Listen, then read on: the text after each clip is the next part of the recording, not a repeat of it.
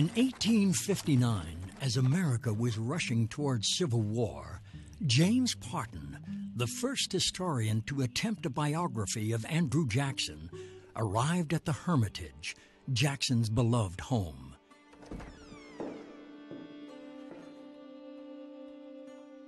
He was escorted through the mansion by Hannah Jackson, who had been Andrew Jackson's slave from the time she was 10 until Jackson died.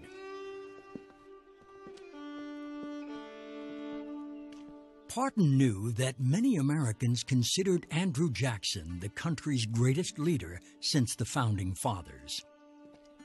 Parton wrote During the last 30 years of his life, he was the idol of the American people. Columbus had sailed, Washington fought, Jefferson written. Fifty years of democratic government had passed, and the result of it all was that the people of the United States honored Andrew Jackson before all other living men. Andrew Jackson, in, my mind, is one of the great presidents. And it's not surprising that he was so loved. In fact, it is said that when the Civil War broke out in 1861, people wanted to vote for Andrew Jackson hoping he would come back and save the Union. He was that beloved. For all of his flaws, for all of his contradictions, Andrew Jackson did more than any other American of his generation to enlarge the possibilities of American democracy. In doing that, and seeing himself as president, as the tribune of the people, he did more than anyone to change to enlarge the possibilities of the American presidency. But Jackson was also one of the most controversial presidents in American history. His policies on issues like Indian removal and slavery provoked fierce opposition, not only in his lifetime, but beyond. Andrew Jackson for African Americans is not the sort of figure uh, that one holds very dear. He wouldn't form part of the, the ranks of the great men uh, of American society because never in his reign as president, in his terms as president, did he ever attempt to expand the rights of people. On the contrary, he did everything he could, it seems to me, to constrict those rights, to limit those rights. People talk about Andrew Jackson's black moods. People talk about Andrew Jackson's red hot temper. But the color of this story is green, and it's the green of envy and it's the grain of coveting Indian lands. At the Hermitage, Parton discovered a portrait of Jackson finished just before he died. It was completely unlike the many heroic portraits of the great man, and the vulnerability it captured brought to life Parton's most insightful description of Jackson. He was a democratic autocrat an urbane savage, an atrocious saint. Americans have always looked at Andrew Jackson and seen themselves. But over the years, they've looked at Andrew Jackson and seen different versions of themselves. At one time, they saw the frontiersman, the poor boy made good, the classic self made man. Today, some Americans look back at Jackson and they see the slaveholder, the Indian oppressor, even the Indian hater. So the debate about Andrew Jackson is a very contemporary one. He's an inescapable, quintessential American, but of what kind? Uh, is he a man whom we should admire, or is he a man whom we should despise? Is he a man whom we should celebrate, or is he a man for whom we should apologize. Thomas Jefferson. He could never speak on account of the rashness of his feelings. I have seen him attempt it repeatedly and, as often, choke with rage. Okay, gang. So our plan today is to start looking at the rise of Jacksonian democracy and how that's going to redefine American politics for the next several decades it's important to go back to the intro to Unit 3 where we talked about this era of good feelings that's really going to define James Monroe's presidency in the 1816 to 1824. Um, we talked about the fact that the Federalist Party had died off after the Hartford Convention, and there was only one party left, and that lasted through Monroe's presidency. But even then, um, there are definite signs that the era of good feelings was going to come to an end. The Panic of 1819 brought about sectional tensions between East and West, particularly over the National Bank. Jackson will be poised to be an opponent of the bank as a result of that. The Missouri Compromise will begin the debate over slavery that will really take off over the course of the 1830s, 40s, and 50s. And finally, the corrupt bargain of 1824, a disputed election uh, in 1824 will really bring about the end of the era of good feelings, the split of the Democratic Republican Party into factions, and a redefinition of a party system that will take place in the course of the next decade. So we'll pick up there. We're going to watch some video clips from a film called Andrew Jackson Good, Evil, and the Presidency. It is narrated by my favorite president, Jed Bartlet of the West Wing, otherwise known as Martin Sheen. And we'll pick up in 1824 and look at how the campaign of 1824 broke down and how it's going to set the stage for a very tumultuous election in 1828. Henry Clay. I failed to see how the killing of 2,000 English persons at New Orleans qualifies a person for the difficult and complicated duties of the presidency.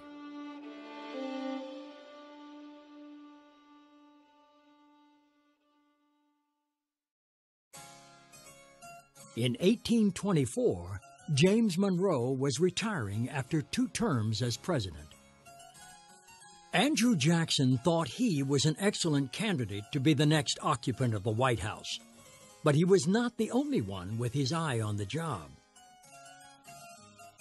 John Quincy Adams was the son of John Adams, America's second president. He had spent much of his childhood in Europe with his father and was now Secretary of State. His worldview was as different from Jackson's as his upbringing. He was a politician with imagination. He imagined an America that was much more economically developed. He imagined an America with much broader uh, uh, educational opportunities for everybody. He imagined an America in which the rights of Indians and black people and women were actually respected. Treasury Secretary William Crawford and Speaker of the House Henry Clay were also candidates for president. As in every previous election, the candidates did not campaign, and in some states, residents did not even get to vote for president. Instead, the state legislature chose that state's members of the Electoral College. In the early years of the Republic, voters were not called on to choose the President of the United States. Choosing the President was uh, quite honestly and quite deliberately an elitist operation. Uh, the people who were thought to be the insiders in state government became the presidential electors, and they chose the president based on which set of Washington insiders they thought was the best. And the people were basically expected to accept that decision without complaint. In an election controlled by Washington politicians, the frontiersman from Tennessee seemed certain to finish last. When Andrew Jackson's name was first floated about as a candidate for the presidency, all kinds of leading politicians were aghast. Uh, they understood him to be a wild eyed military chieftain, uh, a hot tempered individual who had executed a couple of Brits down in Florida without uh, authority or, uh, or apparent reason. Uh, and as Jefferson said, he was the most unfit man imaginable for the office of the presidency. To counter the view that Jackson was unfit to be president, one of his advisors, John Eaton, published a series of letters that proposed an entirely new rationale for what was important in a president. In the selection of a chief magistrate of this union, it is not necessary that we should look exclusively to the mental qualifications of a candidate.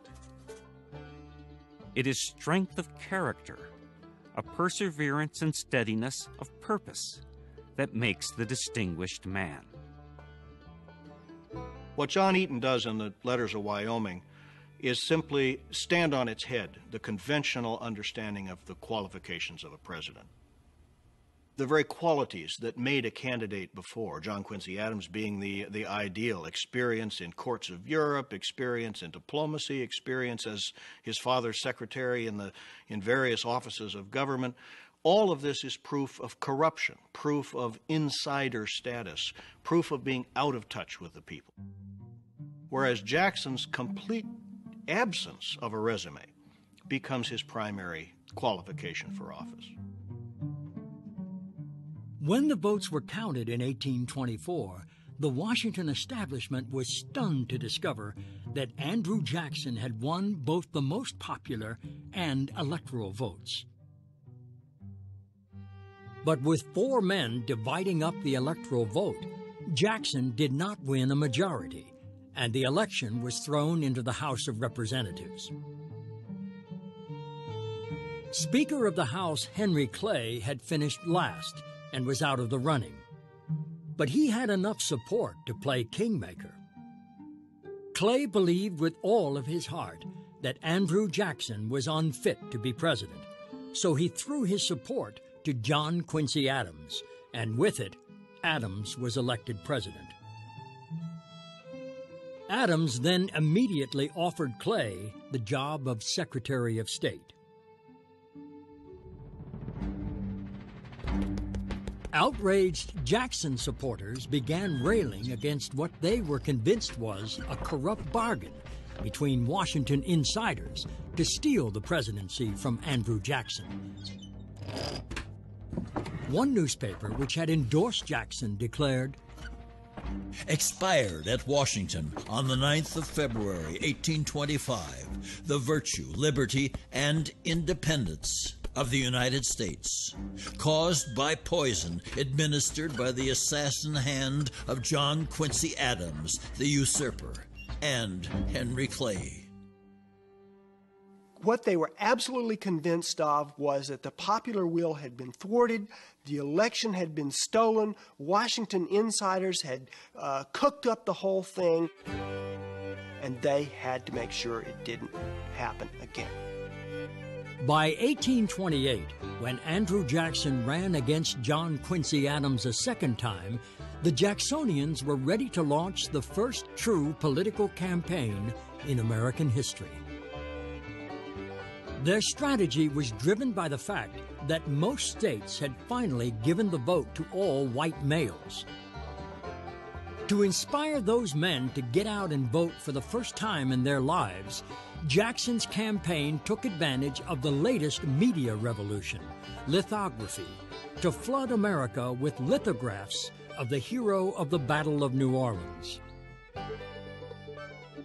If you're going to elect the president by appealing to the people as a whole, you change the ground rules completely because you have to win the popular vote down there at the grassroots, at the militia grounds, in the taverns, in the fairs, in the streets, all across the country. So somehow you have to be able to reach those people. You've got to fire them up.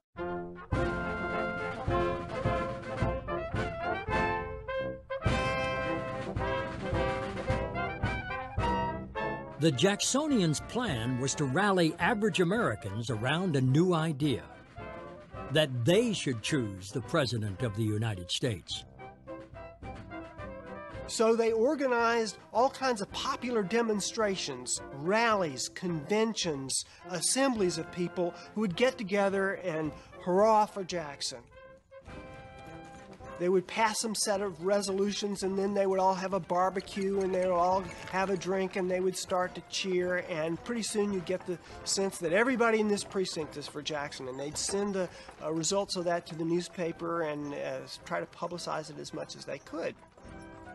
And this was the kind of tactic that didn't require finagling behind closed doors. It could take place in the boondocks. It could happen in rural Tennessee, rural Alabama, rural New York.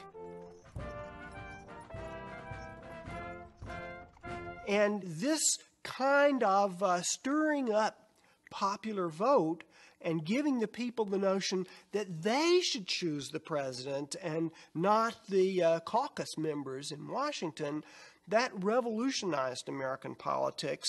The people have not been willing to give up the choice of president ever since. The revolutionary new style of campaigning soon made Jackson into the heavy favorite. But then his opponents discovered the skeleton inside Andrew and Rachel's closet. The man behind the mischief was a confidant of Henry Clay's, who edited a Cincinnati newspaper. He uncovered and printed the court record of Rachel Jackson's divorce proceedings, which revealed that Rachel had lived with Andrew while she was married to another man.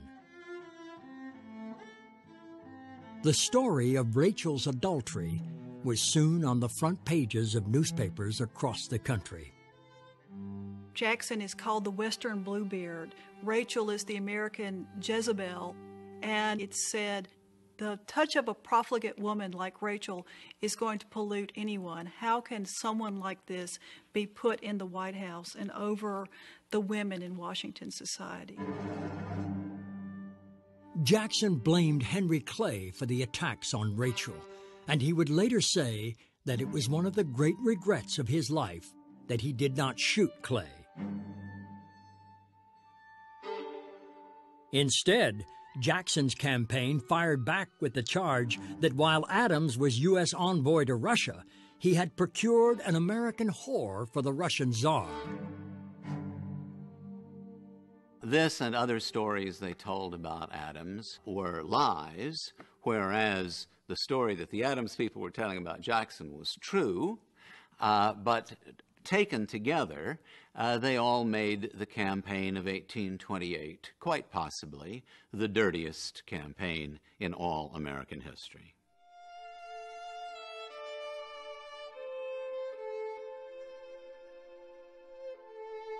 The viciousness of the campaign would have consequences no one could have foreseen.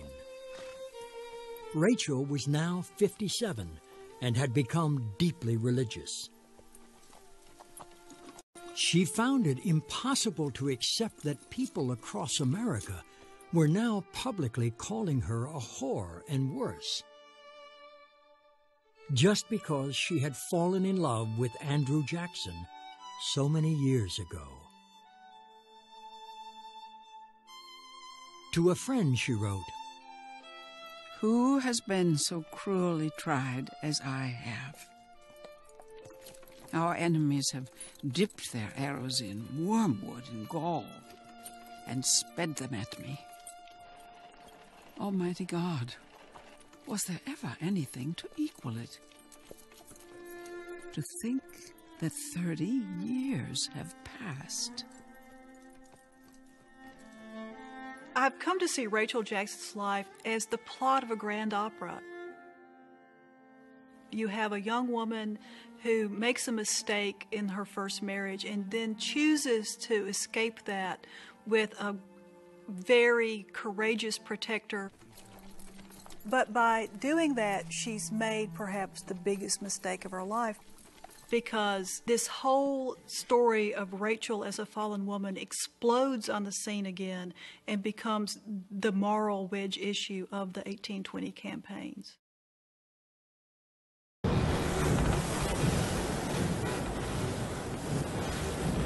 When the election of 1828 was over and the votes were counted, Andrew Jackson, the war hero who had dramatically expanded America, was elected president in a landslide. In January of 1829, he boarded a steamboat to begin his journey from Nashville to Washington, D.C. At many stops along the way, the townsfolk planned joyous celebrations to honor the first man of humble origins to become president. But Andrew Jackson declined every single invitation he received, for he was too bowed down with grief. Just after the election, Rachel Jackson had died of a heart attack.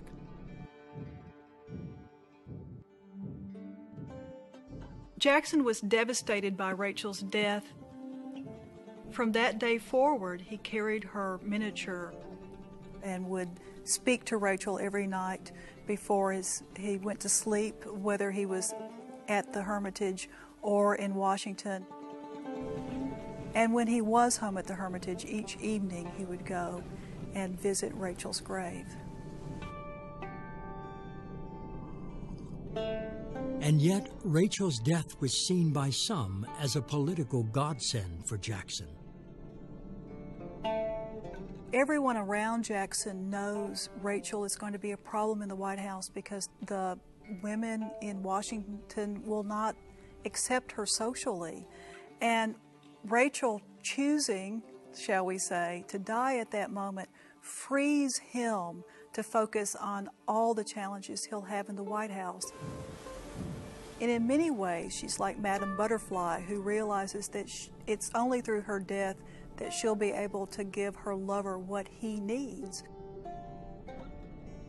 But that was not how Andrew Jackson saw it. In his eyes, his enemies had made an unforgivable attack on his wife. He blamed John Quincy Adams for not putting a stop to it, and he blamed Henry Clay for initiating it. Jackson actually believed that they killed her. And so, as far as he was concerned, they were her murderers. Over the next eight years, Jackson's anger at his enemies would combine with his passionate personality and strong convictions to produce one of the most turbulent presidencies America has ever experienced.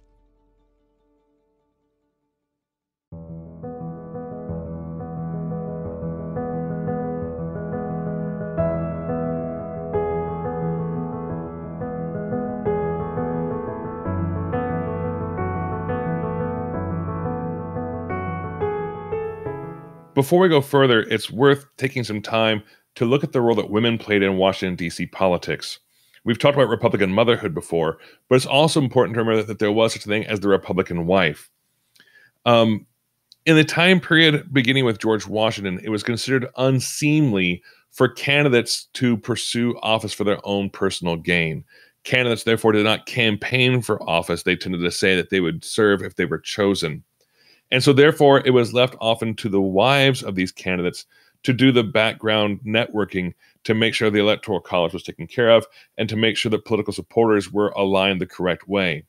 Dolley Madison, who you see in the, in the top of this slide here, was very good at this, as was Louisa Adams. In fact, there are some who people said some people who say that the 1824 campaign was Louisa's campaign. And so the women played a large role in helping organized politics. It's also worth mentioning the landscape of DC politics as well. If you were a member of Congress, this is still true now, if you worked in DC, you had to maintain a residence in your home state as well. So to save money, a lot of these guys are going to live in boarding houses, often with other people from their state or their party. That meant that you know they were in Congress with these guys, they were outside of Congress with these guys. It made it really hard for them to have you know, compromising conversations or not to the party line all the time.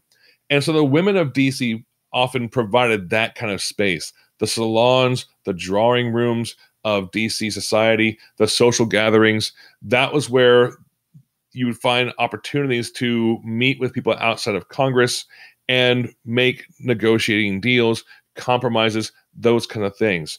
Again, Dolley Madison and Louisa Adams were very good at this. Rachel Jackson would not have been. And that's why the video talks about how Rachel Jackson may have been a liability for Jackson going into DC politics because of her background and the way she was perceived. It's also worth noting that one of the roles that women will play will be playing uh, a role in, in patronage. Patronage is the giving of government jobs and sometimes contracts. And the women of DC would play a role in kind of putting the right people in the right place at the right time people like Margaret Bayard Smith, for example, were very good at this kind of networking. She was the leader and part editor of the National Intelligencer, kind of a DC newspaper that was attuned to the gossip of the time period. And she had a knack for putting people who needed to be in the same place, or to the point, who she thought needed to be in the same place together, in the right place at the right time. what we're going to see is over the course of Jackson's first term, that role played by women will be replaced by a role played by the party. And we'll see how that breaks down. But I want to give you that background because it's going to be important to understanding, you know, the next part of Jackson's presidency and how Rachel's legacy will play a role here. So some things to watch for here. I want you to look at how Jackson's inaugural uh, uh, the inaugural ball really signaled a new change in Washington politics. I want you to look for why Jackson's opponents feared his influence, and I want you to look for how Jackson transformed the presidency as part of this. That'll be a big theme for this lesson. And finally, I want you to look at the Peggy Eaton affair, one of the first big sex scandals in U.S. history, and why it was so important this time period. All right, with that, enjoy.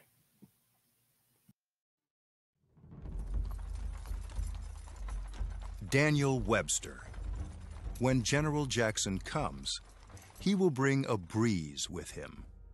Which way it will blow, I cannot tell.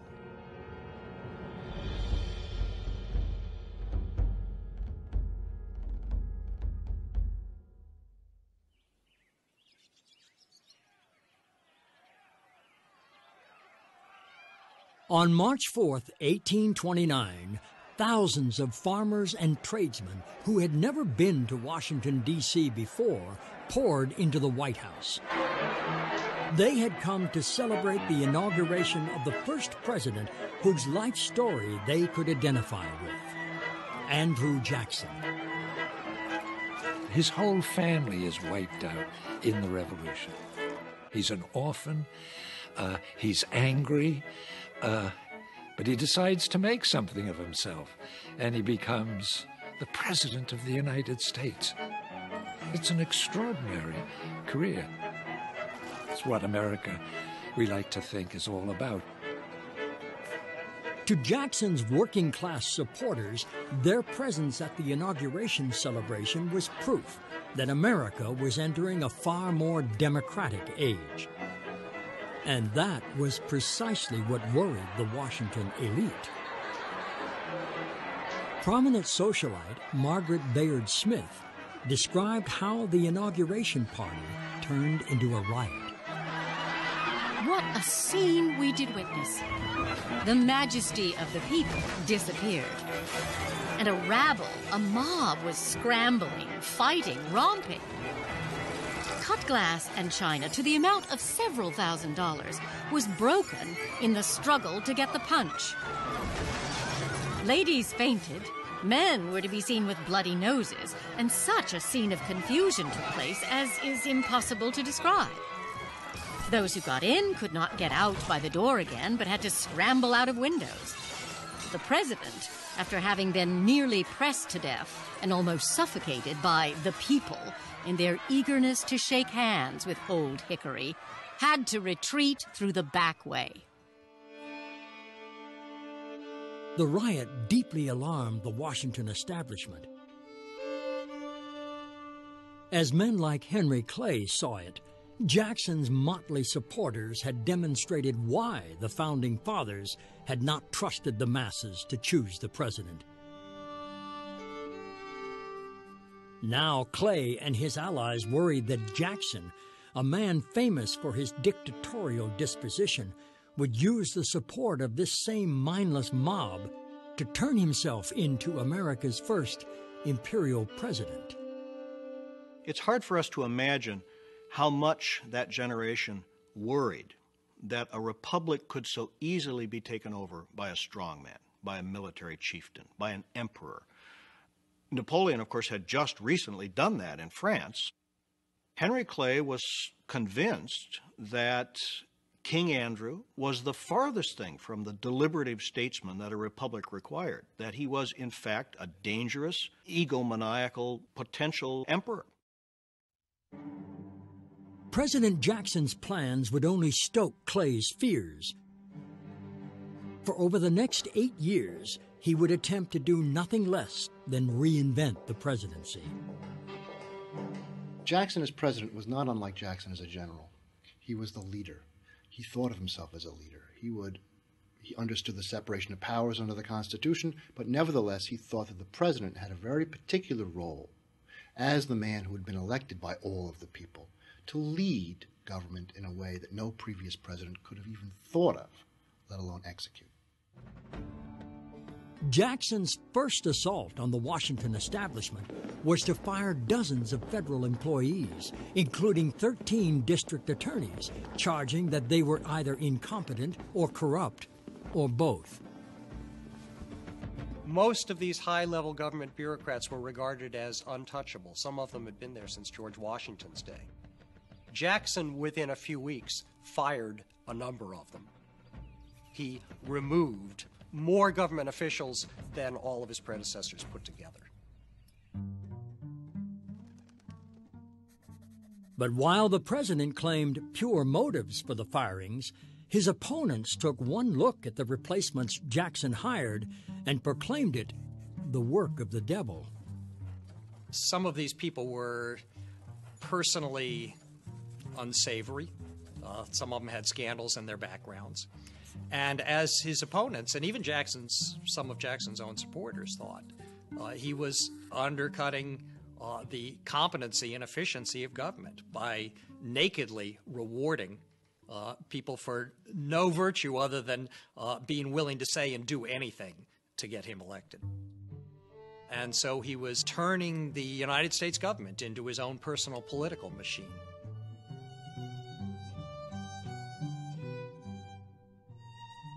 But just as Andrew Jackson was starting to look invincible, the Washington elite snared his administration in a sex scandal.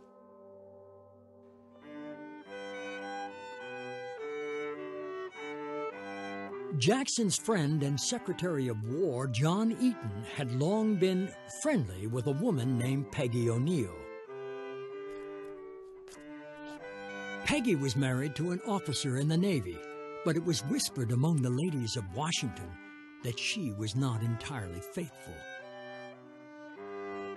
In 1829, news arrived that Peggy's husband had died on board a Navy ship. Instead of going into mourning, Peggy almost immediately married John Eaton.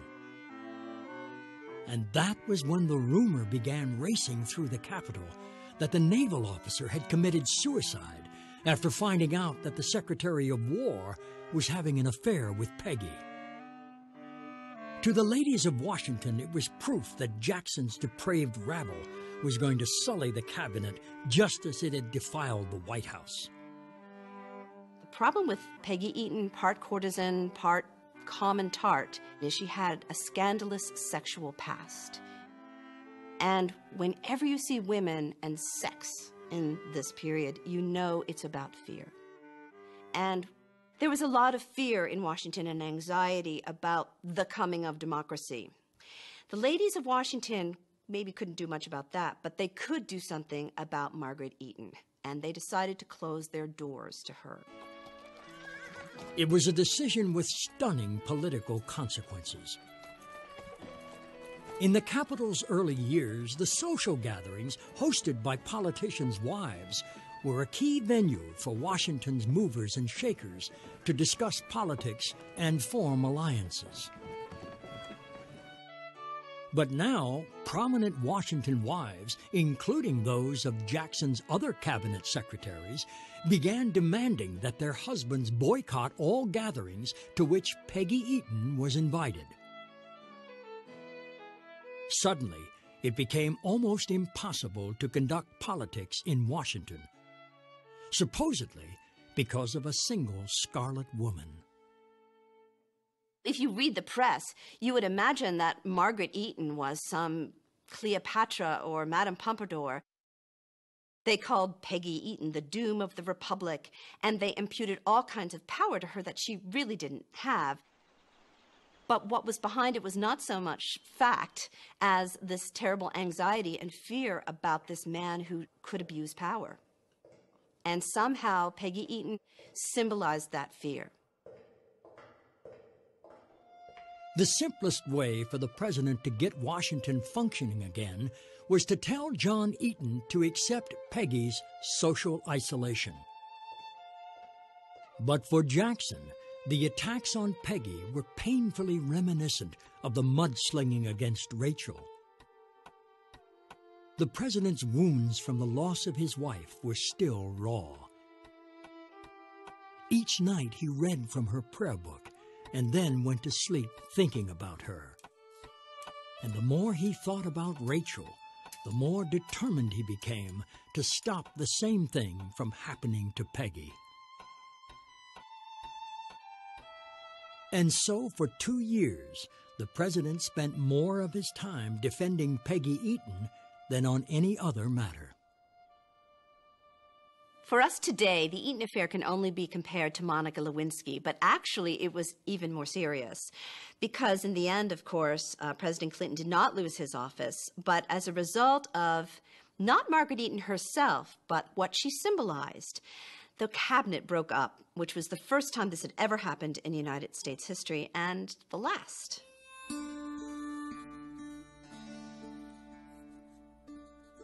To put an end to the scandal, John Eaton and the other members of Jackson's cabinet resigned, enabling the president to replace them with men not caught up in the feud. The press lampooned the cabinet secretaries as rats fleeing Jackson's sinking ship.